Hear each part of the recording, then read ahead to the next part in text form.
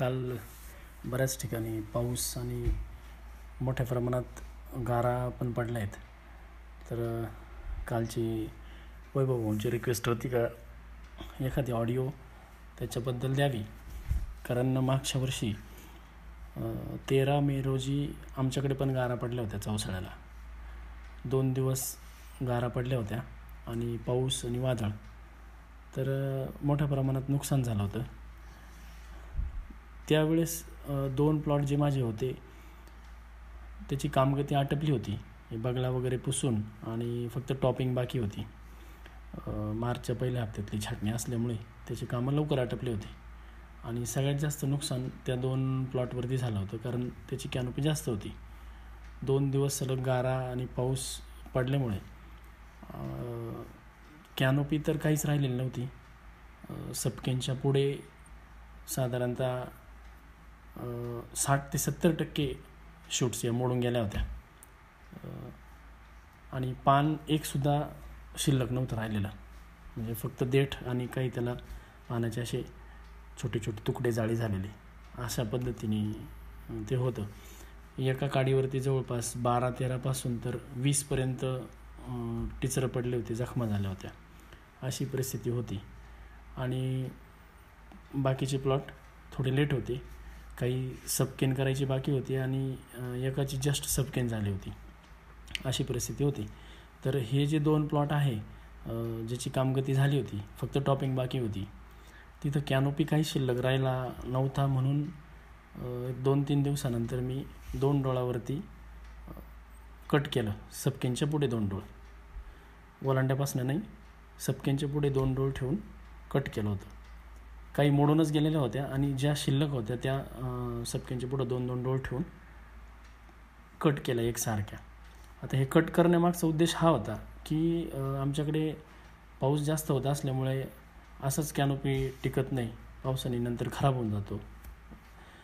आणि मग हा एवढा जखमा झालेला म्हणजे अगदी खराब झालेला कॅनोपी आणि त्या काड्या हे पानं छाटणीपर्यंत टिकतील का?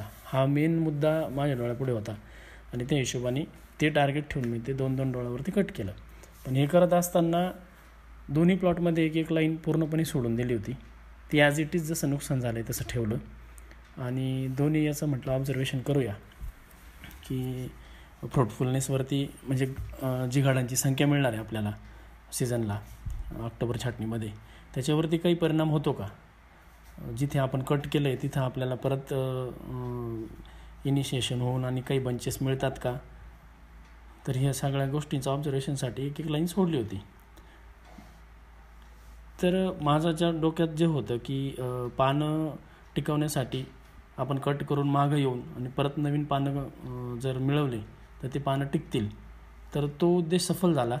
कारण पहिल्या दोन तीन पावसामध्येच जेवढे जखमा झालेले पानं होते सपक्यांच्या मागचे ते पूर्णपणे करपटून गेले आणि गळून गेले. म्हणजे काडी पूर्ण सपक्यांच्या मागं उघडी होती आणि कट केल्यानंतर जे नवीन जे मिळवलेले शेंडे होते त्याला मी स्प्रेंग वगैरे प्रॉपर घेतल्यामुळे आणि टॉपिंग पण त्याची लवकर केल्यामुळे ते मॅच्युअर होऊन आणि ते पानं चांगले होते. त्या ठिकाणी स्टोरेज पण मला व्यवस्थित मिळालं त्या बागेमध्ये कारण छाट ऑक्टोबर प्रुनिंगनंतरचं त्याचा परफॉर्मन्स खूपच चांगला होता. म्हणजे गारा पडून एवढं नुकसान झालेलं असताना पण तसा काही परिणाम मला जाणवला नाही. ऑक्टोबर छाटणीला ग्रोथ असेल किंवा क्वालिटी असेल त्याच्यावरती. परंतु एक फरक निश्चित होता की दरवर्षी जेवढे नंबर ऑफ बंचेस मिळतात पर प्लांट तर तेवढे घड काही मला मिळाले नाही. घडांची संख्या ही कमी होती. फार चॉईस नव्हती. काही काड्या पण फेल होत्या. असं सगळं चित्र होतं. आता मेन फरक एक की बाग कट केला पाहिजे की नाही केला पाहिजे? तर फ्रुटफुलनेसचा जर विचार केला तर तसा विशेष काही फरक नव्हता. उलटं जिथं कट केलेलं नव्हतं ज तसंच सोडून दिलं होतं तिथे काडी लवकर मॅच्युअर झाली. ॲज कम्पेअर्ड टू जिथं कट केलं होतं तिथं काडी लेट आळली कारण झाडाची बरीच एनर्जी खर्च झालेली असते या स्टेजला ज्यावेळेस फक्त टॉपिंग तुमची बाकी आहे तर त्या स्टेजपर्यंत जवळपास पंचावन्न साठ दिवसाची साठ दिवसाची स्टेज असेल तोपर्यंत झाडाची खूप एनर्जी खर्च होऊन गेलेली असते. आणि झाडामध्ये ते रिझर्व्स शिल्लक नसतात. त्याच्यामुळे परत कट केल्यानंतर नवीन जे तुम्हाला दहा बारा पानं मिळवायचे आहेत तर ते मिळवताना तिथं झाड शंभर टक्के कमी पडतं. असं ऑब्झर्वेशन होतं. आणि जिथे मी कट नव्हतं केलेलं तिथं काडी लवकर मॅच्युअर झाली. याचा अर्थ हाच की झाडाची एनर्जी तिथं ते तितकी खर्च झाली नाही. कारण एवढ्या जखमा त्या जखमा भरवण्यासाठी सुद्धा झाडाची मोठी एनर्जी खर्च होते. आणि त्याच्यानंतर परत कट केल्यानंतर ते वाढवण्यासाठी पण तिथे कार्बोहायड्रेटची गरज असते. तर ते कमी पडल्यामुळे प्रॉपर ग्रोथ काही त्या ठिकाणी आपल्याला दिसत नाही. तर कट केलं पाहिजे का? तर मी म्हणेल की अजिबात कट नाही केलं पाहिजे. कारण त्याचं घटसंख्येवरती पण काही परिणाम नाही झाला. फक्त कट केल्याने एकच होतं की तिथं दोन बगला निघाल्या. दोन डोळ्यावर कट केल्यामुळं. त्याच्यातली एक पुसून टाकली आणि एक वाढवली. परंतु ज्या गल्ल्या सोडून दिल्या होत्या तिथं ते रँडमली त्या काड्या मोडलेल्या असतात. त्याच्यामुळे त्याला सगळ्या बागला फुटतात. त्या सगळ्या बागला क्लीन करावं लागल्या. ते काम तिथं वाढलेलं होतं. तरी पण मला तेच योग्य वाटतं की कट नाही केलं पाहिजे. घडसंख्या आपल्याला त्या ठिकाणी म्हणजे निदान काम करता येईल एवढी घडसंख्या तर मिळते. त्याच्यामुळे कट नाही केलं पाहिजे. जे प्लॉट अशा स्टेजला गेलेले आहे की जिथं कामगती बऱ्यापैकी आटपलेली आहे बगला वगैरे पुसून झाला आहेत सबकेन आटपली ते प्लॉट कट नाही करू हे मी ठामपणे सांगतो. मग आता जे प्लॉट सबकेनच्या आधीचे जस्ट फुटत आहेत काही पाच सहा पानावरती आले आणि काही दोन तीन पानावरती असे फुटत आहेत अशा ठिकाणी जर मोठं नुकसान झालं असेल तर पहिल्या ज्या आलेल्या फुटी म्हणजे आधीच्या पण झाडावरती ज्या वाढलेल्या फुटी पाच दहा असतील पंधरा असतील आणि त्या जर मोडल्या असतील त्याला जर जखमा झाल्या असतील तर त्या बाकी कट केल्या तर चालतील कारण त्या ठिकाणी जस्ट आत्ताशी ग्रोथ स्टार्ट झालेली आहे. तिथं झाडाची एनर्जी काही वेस्ट होत नाही. आणि त्या ठिकाणी आपल्याला कट करायला काही हरकत नाही. तिथं आपण एक डोळ ठेवून कट करू शकतो किंवा अशा भागा कटच केल्या पाहिजे की ज्या एकसारख्या येतील. कारण गारा पडून बऱ्यापैकी फांट्या कुठं ना कुठं मोडलेल्या असतात. गार मोठी असते आणि तिथं त्या ठिकाणी ती जखम होऊन ते टिचरं पडून त्या काड्या मोडलेल्या असतात बऱ्यापैकी. तर अशा ठिकाणी आपण कट केलं तर चालेल की जिथं चार पाच पानं जस्ट आलेले आहेत वलांडाला तर ती कट केलं तर चालू शकतं. परंतु ज्याची कामगती आटपून गेली ती अजिबात कट करू नये एवढं मी सांगू शकतो. आता मेन मुद्दा आहे की स्प्रेईंग स्प्रेईंगमध्ये हे वातावरण दोन तीन दिवस असंच राहणार आहे.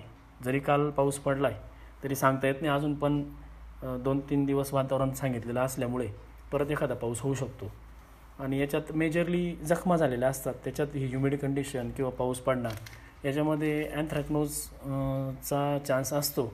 त्या हिशोबाने कॉपर दोन ते अडीच ग्राम आणि कवच एक ग्राम याचा स्प्रे घेतला पाहिजे. त्याच्यानंतर दोन तीन दिवसांनी जर परत एखादा पाऊस रिपीट झाला आहे तर रोको आणि कुमान थायोफिनेट मेथिल म्हणजे रोको एक ग्राम आणि कुमानेल साधारणतः दोन ते अडीच मिली असा स्प्रे तर हे दोन स्प्रे मागच्या वर्षी मी घेतले होते. त्याच्या व्यतिरिक्त बुरशीनाशकामध्ये स्पेशली काही मारलं नव्हतं. नंतर परत रुटीनचं मग भुरीची गरज असेल तर भुरी भुरीचं औषध त्या ठिकाणी घेतलं होतं. एखादं डावणीचं औषध पण कॉन्टॅक्ट मी मारलं होतं. पण याच्या व्यतिरिक्त स्पेशली असं काही गरज नाही. आणि आता डिपेंड आहे की जखमा किती झाल्या आहेत झाडावरती स्ट्रेस किती त्याचा विचार करून मग थोडंसं सीविडचा विचार केला पाहिजे. एखादा स्प्रे त्या ठिकाणी सीविडचा घेतला पाहिजे कारण झाड ग्रोईंग स्टेजला होतं. त्याच्यावरती आघात झाला गारांनी जखमा झाल्या डिस्टर्ब झालं. आणि मग त्याला परत एक एनर्जी मिळून आणि ग्रोथ प्रमोट करण्यासाठी त्या ठिकाणी सीविडचा एक दोन स्प्रे आपण घेतले पाहिजे. मी केल्प पाच मिली आणि एका लिटरला एक मिलीनी सी पी पी असा स्प्रे देखील गारा पडल्यानंतर चौथ्या दिवशी घेतला होता. त्याच्या व्यतिरिक्त बाकी काही केलेलं नाही. फक्त ह्या प्लॉटमध्ये विशेष काळजी हीच घ्यावी लागते की गारांमुळं रँडम इजा झालेली असते मोडतोड झालेली असते काडांची. त्याच्यामुळे जिथं जिथं काडी मोडली तिथं तिथं लॅटरल फुटणार आहे तर ते काम फक्त वाढतं की बगला पुसावा लागतात. जशा आल्या तशा बगला पुसला पाहिजे. जास्त लेट बगला नाही पुसल्या पाहिजे कारण झाडाची आधीच एनर्जी वेस्ट झालेली आहे. त्याच्यात आपण अजून जर बगला लेट पुसल्या तर तिथं परत झाडाची कार्बोहायड्रेट विनाकारण खर्च होतात आणि ज्याचा फ्रुटफुलनेसवरती परिणाम होऊ शकतो. तर त्याच्यामुळे थोडंसं त्या कामाकडे विशेष लक्ष दिलं पाहिजे बागला पुसण्याकडे. याच्या व्यतिरिक्त हां अजून एक महत्त्वाचा मुद्दा की काड्यांची संख्या पण त्या ठिकाणी थोडी कमी केली अजून तर योग्य राहील. परत विषय तोच की आघात झाला आहे जखम आहे झाडाची एनर्जी विनाकारण त्या गोष्टीवरती खर्च होणार आहे. आणि मग आपलं टार्गेट जर कुठंतरी अडतीस चाळीस काड्या मला त्या झाडावरती ठेवायच्या होत्या तर तेवढ्या काड्या तयार करण्याची किंवा पोचण्याची क्षमता त्या झाडात आज राहिलेली नाही. या हिशोबाने काडीची संख्या पाच सहा काड्या जर कमी केल्या तर ते पण बेटर राहील. तर ह्या पद्धतीने त्या ठिकाणी स्ट्रॅटर्जी ठरवून काम केलं पाहिजे. किती गारा पडल्या तरी माल येणारच नाही असं काही होत नाही. ते डोक्यात ठेवू नका. फार पॅनिक होऊन काम करायची काही गरज नाही.